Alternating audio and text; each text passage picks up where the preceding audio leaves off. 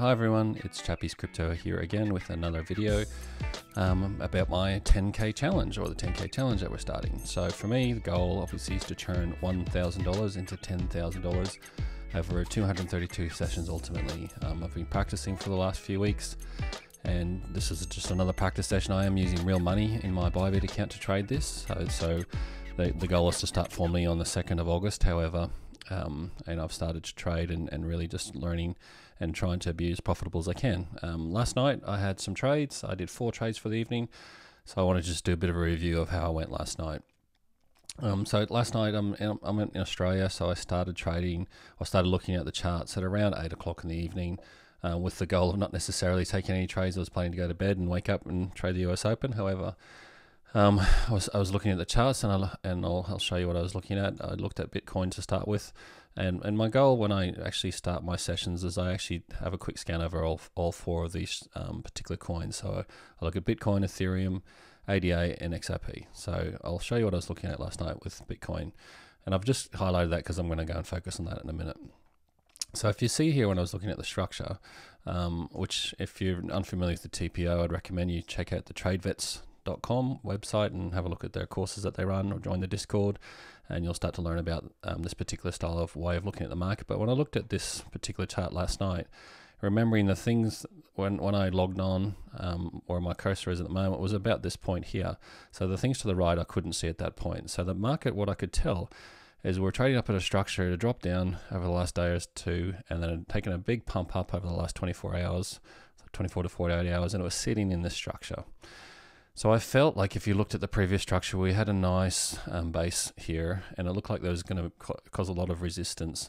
So I was long bias. In other words, I felt like there's a high likelihood or probability that the market was probably going to move up. And so I was particularly looking for a long. I was prepared to go short, um, but I was particularly looking for a long trade because I just felt the bias was up, and I could see um, the prices moving up and down here. So I was looking for a trade potentially go to the upside. Now, I was being somewhat aggressive with this move because I was hoping to catch um, the bounce off the bottom of the structure and trade it to the top. Um, so what I actually did this trade, this first trade I did was actually a, lot, a trade that I actually lost on. Um, so it was the first trade of the evening. And so when if you come into here, I've actually marked where I where I entered the trade, and I actually entered the trade. I'm just going to draw it for you. I entered the trade at roughly 8:30, um, which is which is around this point, and I actually took the trade. I'll just actually make sure I'm in the right place here. Um, I entered the mark. I entered this trade at the open of this candle.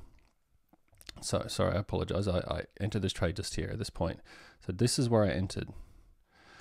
Because I, what was happening is that this this the price I felt had actually got to the bottom. We were one time framing up, and with one time framing, so that's the bottom, and then second candle started to move up this third candle open. Sorry, this third candle actually opened up here, um, but I felt like we were two. We'd had one, two candles up, and I felt like you know what, at the open of this candle, I'm going to get in because I was hopeful it might drop down, but I was confident it was going to start to keep on going up.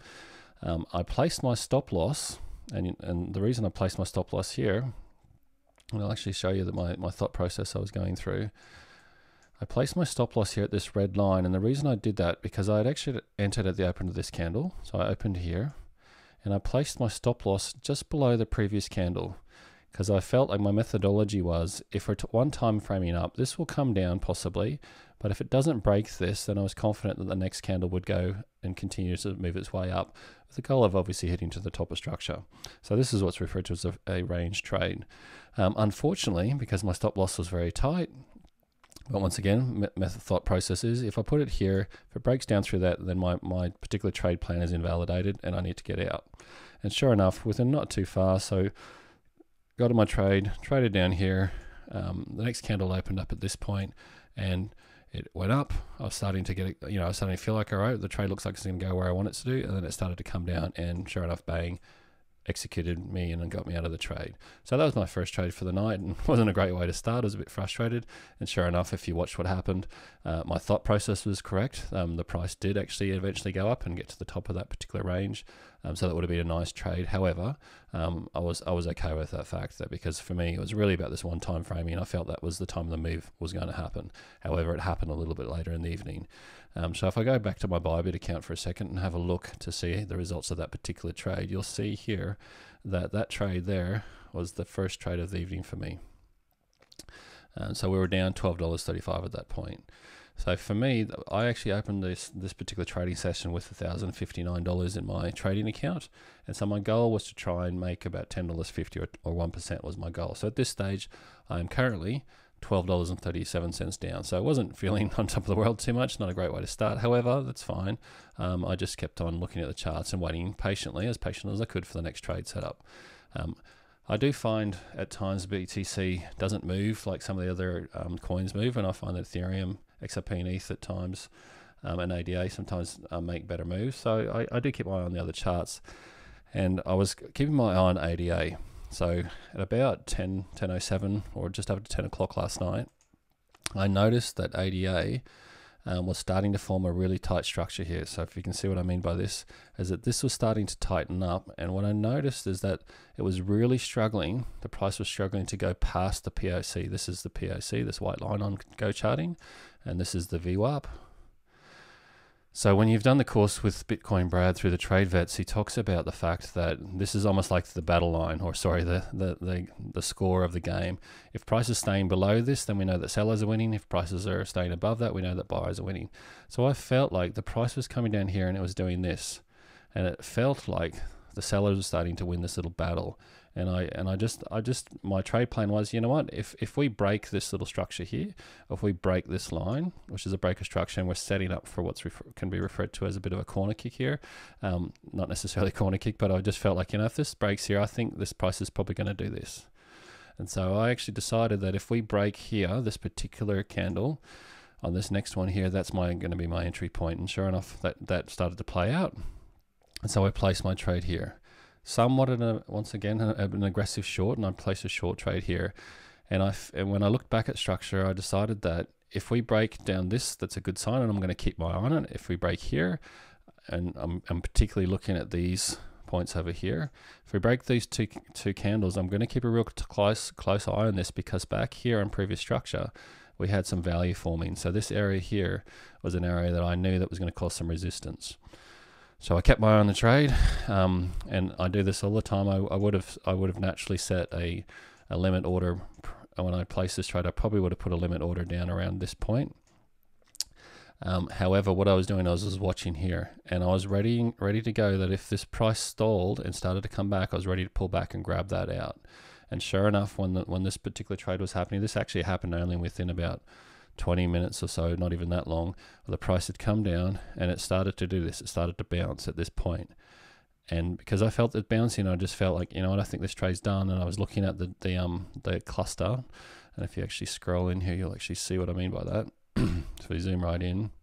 On my Gocharting template, um, I actually have this cluster showing, and I, I use them to just have a look at price uh, and and to see what's happening and just give me an indication of momentum. I'm not looking at the historic prices necessarily, but I'm really well, I do sometimes, but I'm really looking at the, the, the change in price here. And if the price was at this moment, you'd see this number changing.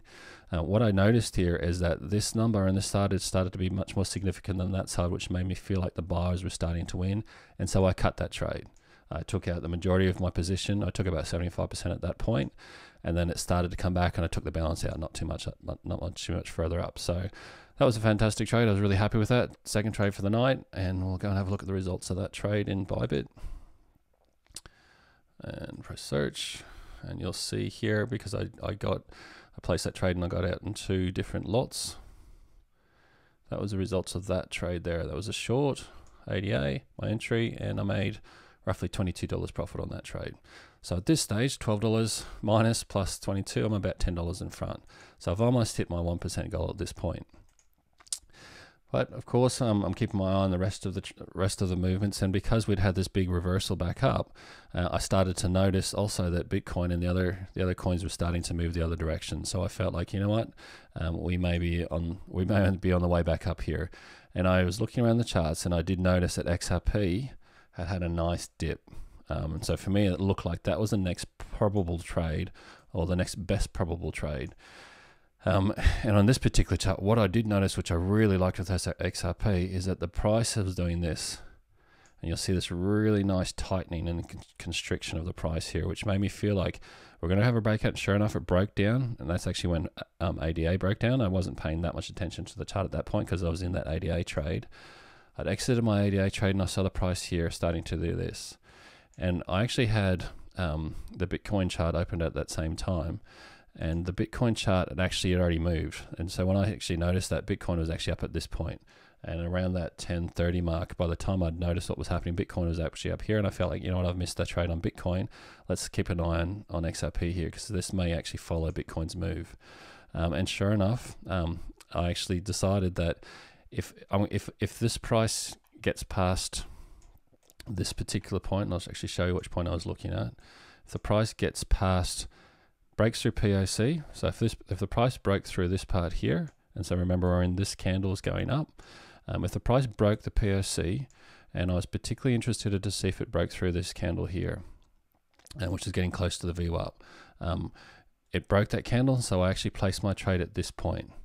Now this trade was an interesting trade because what actually happened is that price came up, which was great, and I was in a you know I was in probably five or six dollars profitable position, and then it came down.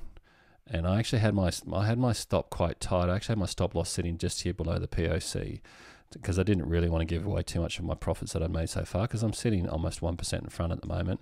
And the price came, the price actually, when, it when it passed here, actually did this for a while. And I came with only a dollar two, or, or, you know, came very close to breaking back through my stop loss. However, I was very patient. I didn't move my stop loss because I was willing to just take the loss if, it, if my trade plan hadn't worked out. But it eventually did go. Um, I was I wasn't overly confident this trade was going to go all the way through, so I actually had my take profit at this point because I was just interested to see if it would take these stops, which it did. It took that one. The price stalled here, and because I actually was pretty happy at this point that I was actually in a profitable position, it came up, and then I took the rest of the position out at that point. Um, at that point, I locked in some more profits, which I was pretty happy with as well. Um, but sure enough, because I'm watching four charts simultaneously, and once I place my trade, I'll, I'll zoom in quite closely on this four chart layout. Um, and just so you understand the way that I actually use the Gocharting tools, I'll actually zoom in quite closely here. I'll just get rid of that, sorry, the, the rectangle there. I'll, I'll zoom in quite closely so I can see the price action. I'll have my levels marked so I can see if the price is getting close, just so I can keep my eye on the trade. But I did notice something ha interesting happening with ETH. I'd actually noticed it much earlier in the evening, and I'll show you what I actually did. And I'd actually set up a conditional order with this, and to be brutally honest with you, I'd forgotten I'd placed it. And so when I was actually looking at ETH early in the evening and looking at the structure, um, one of the things I really thought was quite interesting with ETH is that similar to what was happening with, with Bitcoin early in the evening, I'm just going to get rid of that so you can focus a little bit here.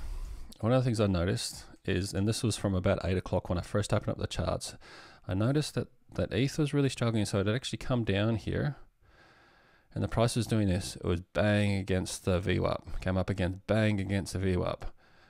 Struggle to get past the POC, struggle to get past POC, and broke down through when ADA and the rest of them went, and that went and then went up. But what I actually did was because I saw this doing this to like two times, third time, I felt like this was the new point. This is a new breakout zone. So I actually placed a conditional long order on ETH and I just left it there.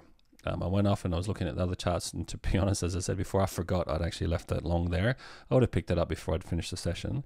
However, I'm really glad I did because what happened after this breakdown and XRP, the rest of them broke up, I noticed in Bybit, the conditional order got triggered and it, and it broke through here.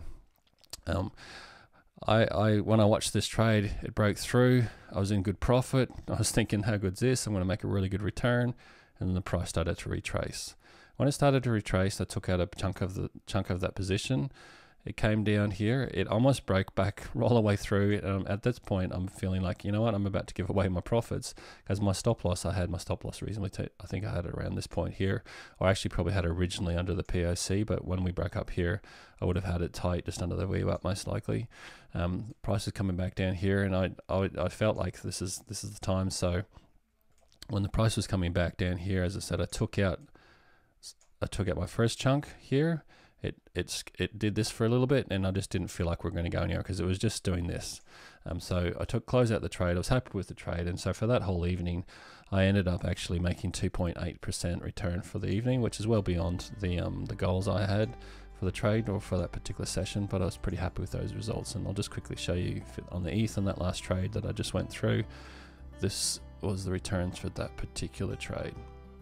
Um, so $10 in the bag, which is great. Just add it to the previous. So in the end, I ended up with um, a profit of $29.79, which takes my, my trade my trade balance or my account balance up to 10 also $1,089.01 uh, so really good session for me last night I'm happy with that I'll be trading again um, in a few hours time um, but I thought I'd share my my trade reviews of, of last night's um, trades and before I before I say anything else, I just want to point out if you'd like to learn how to trade using the time price opportunity, check out the tradevets.com.